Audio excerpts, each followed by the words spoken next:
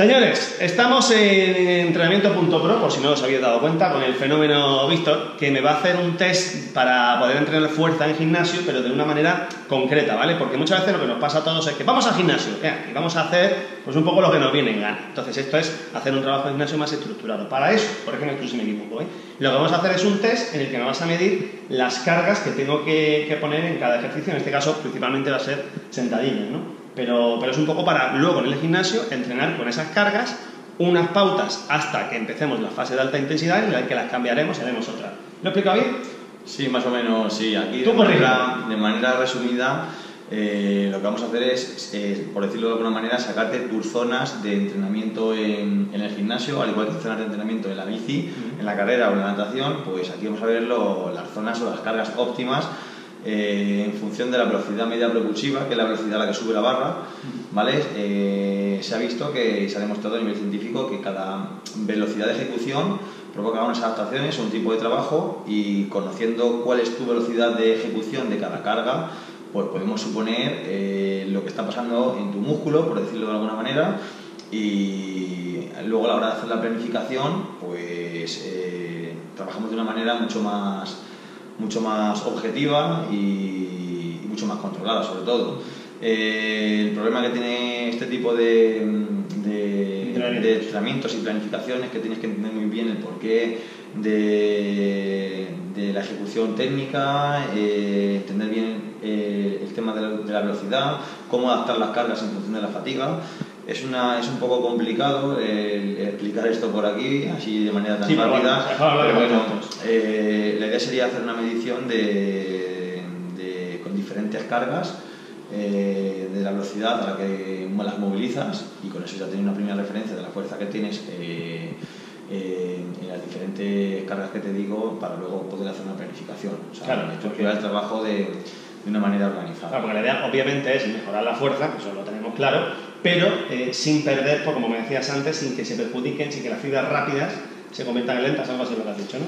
No, bueno, aquí realmente el objetivo, en tu caso que eres ciclista, el objetivo no es que tengas mucha fuerza, el objetivo eh, final es que tu fuerza útil, o sea, tu fuerza que ejerces en el pedaleo, mejore. O esto es un método de entrenamiento para mejorar al ciclista no es un método para ni ser culturista ni crear hipertrofia. Por eso. Eh, se puede hacer también, pero te digo que en tu caso lo que te interesa es que mejore el gesto específico del pedaleo. Por eso se trabaja los ejercicios de una forma determinada, no, hazlos un poco como quieras, sino de una forma muy, muy concreta. Eh, y la clave, ya que hacemos este tipo de estudio, es eh, no solo programar los ejercicios, que aparte de programar las series, los descansos, las repeticiones, también saber el por qué eh, y sobre todo intentar cuantificar y medir la velocidad del gesto, que es lo que provoca esas adaptaciones que te comento, o sea, saber realmente qué es lo que está pasando en, en, tu músculo, ¿vale? Ya te digo que es una manera, es un poco complejo el explicarlo, pero, pero eso es la idea, intentar medir y hilar fino luego a la hora de hacer la planificación. Pregunta, pregunta que se me viene a la cabeza. Eh, este, este, esta tabla que vamos a hacer ahora, en principio durante, vamos a poner, vamos a decir dos meses, a lo mejor es mes y medio, pero más o menos,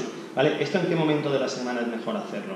Al principio de la semana o antes del fin de semana o depende de, porque ahora lo único que voy a hacer es rodar y rodar y rodar, da un poco igual cuando lo haga o tengo que tener en cuenta, oye, al día siguiente, ojo, no hagas esto o no hagas lo otro. No, en principio ya te digo, eso no te puedo dar una contestación porque depende mucho del estilo de vida de la persona, de si es un deportista profesional que se dedica en exclusividad al entrenamiento o de las premisas del tipo de vida o de entrenamiento de cada, de cada persona hay que tener muy en cuenta el entrenamiento que se realiza tanto antes como después, al día siguiente, eh, de, la, ejecución del trabajo de fuerza. O sea, aquí no es el todo vale, o sea, hay que tener muy claro eh, la organización del microciclo de la semana, de cómo, se va a estructurar para que no haya ningún tipo de transferencia negativa. El, trabajo de gimnasio no se puede eh, o no se debe mezclar con ciertas capacidades físicas, ¿vale? Y de hecho, por ejemplo, en el caso de cada doble sesión, pues tiene que haber una separación mínima de 6-7 horas, eh, se tiene, que, tiene que ser un entrenamiento cómodo y liviano eh, del entrenamiento aeróbico por la mañana. O sea, la pregunta que me estás haciendo es compleja porque no se puede extrapolar a todo el mundo, pero hay que tener en cuenta muchas variables, pero principalmente eh, el entrenamiento del día de antes y el entrenamiento del día después. ¿Vale? para saber cuál es el momento óptimo, pero en condiciones normales se tiene que hacer en una situación de la menor, menor fatiga posible.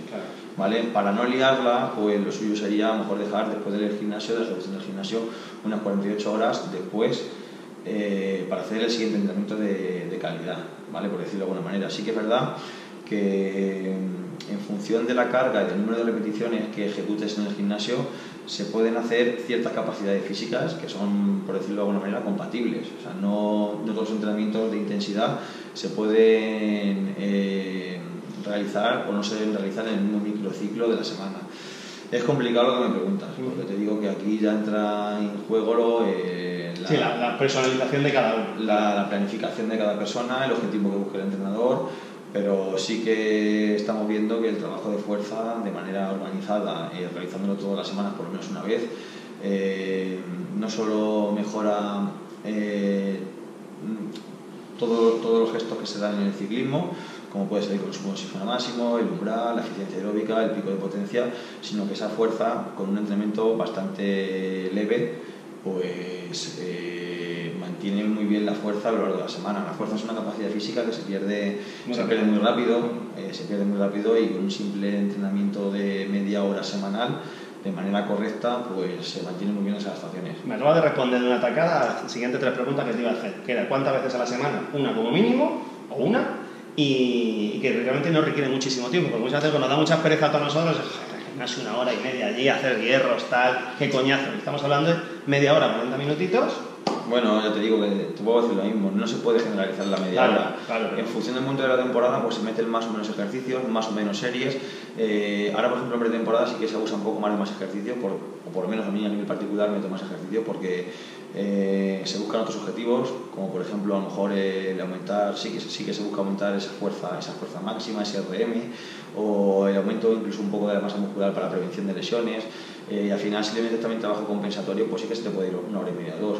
En fases competitivas, eh, con cuatro sentadillas a unas repeticiones determinadas y una velocidad determinada. Una determinada. En media hora, con un poco, un poco de trabajo de core, has acabado. O sea, podríamos decir que más o menos la planificación general es eh, en esta parte de la temporada meter más volumen de gimnasio y luego reducirlo para, para ser mucho más bueno te digo que mm, depende mucho de cada caso o sea, depende mucho de la morfología del ciclista eh, de los objetivos que busques y aquí lo que te digo que se intenta hilar fino o sea las cosas se hacen por algo eh, si se hacen X series es por algo, si se hacen un, número determinado de ejercicios o unos ejercicios en concreto es por algo. Yo te digo que cada persona tiene sus particularidades. Eh, esto en concreto que vamos a hacer ahora es un test eh, que no tengo ni idea qué va, va, a suceder, porque cuando hacemos una prueba incremental con la bicicleta, pues más o menos puede suponer la, la potencia que vais a generar o, el umbral donde le tenéis en, en función de lo que me comentáis un poco de vuestro nivel y tipo de práctica de ciclismo, pero aquí eh, he visto casos de gente que aparentemente es muy fuerte, que no tiene fuerza, y chicas que de 45 kilos que parece que no van a tener fuerza. La que, está grabando, la que está grabando es una de ellas, ¿verdad? Sí, nada, es una buena, una buena pupila. Pero te digo, a ver, que esto es un trabajo que recomiendo a todos los deportistas que realizan actividades aeróbicas. Hay mucha literatura escrita de que esto funciona es complejo el explicarte por, por, un vídeo todo esto. Pero, bueno, ha quedado claro por lo menos los conceptos, los conceptos básicos. Vale, pues vamos a ello. La, la idea es un, poco, es un poco parecido a la prueba de fuerza en la bici, es decir, se empieza con una carga en la, en la, en la barra y se va a ir subiendo la carga hasta que pete. Sí, bueno, por decirlo así, no, no se llega hasta un agotamiento máximo. Eh, vamos a empezar, aquí lo interesante no es ver eh, o, conocer tu fuerza máxima, aquí lo interesante es saber eh, qué rápido mueves cada carga. Vale. Porque uno de los objetivos no es solo que mejore tu fuerza máxima, sino que sea más rápido de movilizar todas las cargas posibles. Por eso vamos a empezar eh, movilizando simplemente el peso de la barra. El protocolo que utilizamos son meter cada vez 10 kilos más y ir registrando la velocidad media propulsiva de cada carga. Y cuando llegamos a 0,6 metros por segundo es cuando cortamos. Sí, porque eh, dices, esto no me interesa porque ya no da la velocidad que yo, quiero que quede mínimo. No, eh, realmente cuando llego a 0,6 metros por segundo es una carga que, que, que ya medir más no me interesa. podría llegar a forzarte hasta el RM, que estaría en torno a 0,28, 0,30 si no recuerdo mal, pero no quiero provocarte fatiga. Eh, con 0,6 metros por segundo eh, este sistema te estima el RM con una precisión muy buena y, ya te digo que como son cargas que en el ciclismo, esas, cargas tan altas que están por debajo de 0,6 metros por segundo, en el ciclismo que tú practicas no vamos a, a trabajar, pues ¿para qué te voy a pedir una cosa que no vamos a utilizar? Y otro tipo de ciclistas, a lo mejor como los velocistas o los pistas o casos puntuales, sí que a lo mejor se le fuerza un poco más. Sí, pero en este caso. Pero en este caso, eh, dado que es un sujeto que no tiene experiencia con este método de trabajo, va a ser muy fácil mejorar la fuerza. Eh, no hace falta medir más cosas. Yo tengo experiencia, dice, se va a cagar. se va a cagar. Bueno, ¿vamos al lío? Baja poco, Estás acortadísimo, tío. Esto tiene que ver la fisio, ¿eh? Ya te lo digo yo que estoy acortadísimo. baja despacio, baja despacio, despacio, más, más, más, más, más. ¿Qué ha pasado? Vale, para un poquito su arriba. Ese, eh, eh, en árabe, que se joda ahí, que se mande un poco. Ven por aquí, corre. corre. Haz la foto ahí, que se le vea el culo. Bueno, lo grabo, luego lo coges. O sea, eh, normalmente el ciclista baja hasta los 90 grados. Tú tienes que bajar menos. Tú no puedes llegar a 90 grados estás acortadísimo de, de, aquí. ¿Pero he bajado más de la cuenta o menos? No, no, estás quedando donde tienes que quedar. Pero normalmente la referencia es 90 grados. Tú ni siquiera eso, tú menos de 90 grados porque estás acortado. Tú cuando llegas a 90 grados la cadera se te separa. Quédate a 90 grados que tampoco pasa nada. Pero estás, eso, eso te lo tienes que mirar. ¿Tú vas al fisio? ¿Hasta aquí? Sí, ¿vas al fisio? No. No, últimamente no. Vale, pues Primer test, con solo con la barra, a ver velocidad.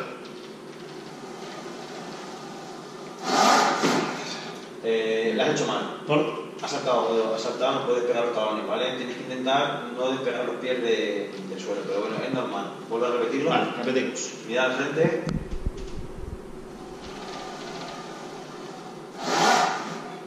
Otra. Pues sí, que vale. saltar. Perfecto. Vamos allá.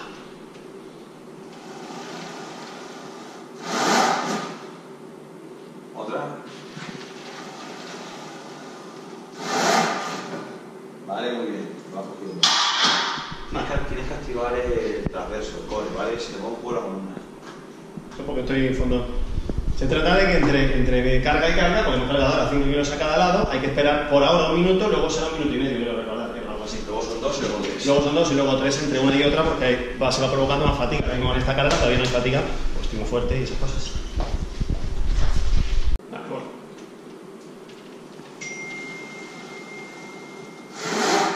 Cero, 96.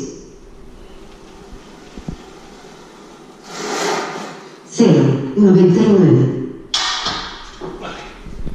Eh, de las repeticiones que ha hecho aquí Abel, eh, el software por defecto te saca un montón de variables, como por ejemplo el, el desplazamiento de cada, de cada de cada repetición, que es fundamental para, para saber si está bajando lo suficiente o no y ver y ver si depende de la velocidad a la que se ejecuta el gesto, la velocidad media propulsiva, que es lo que marca la adaptación, y luego hay otras estimaciones como la RFD, que son datos también de referencia para saber incluso el estado de forma del deportista, datos, datos de potencia, y esto simplemente con, con, con este gesto que está realizando. Uf, estoy ya pesando, ¿eh?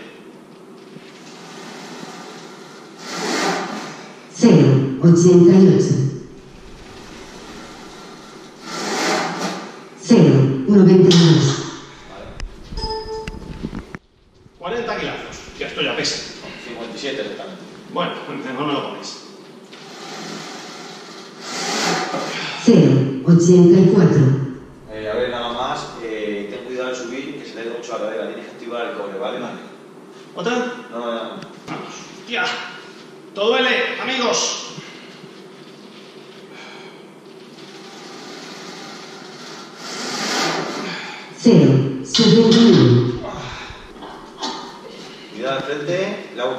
Vamos, la última.